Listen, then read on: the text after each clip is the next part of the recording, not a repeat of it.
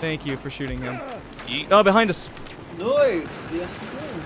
Ow, he killed me. Jesus. Is he dead? Pretty. No, he jumped off. He fucking, he jumped off and killed himself, and so did I.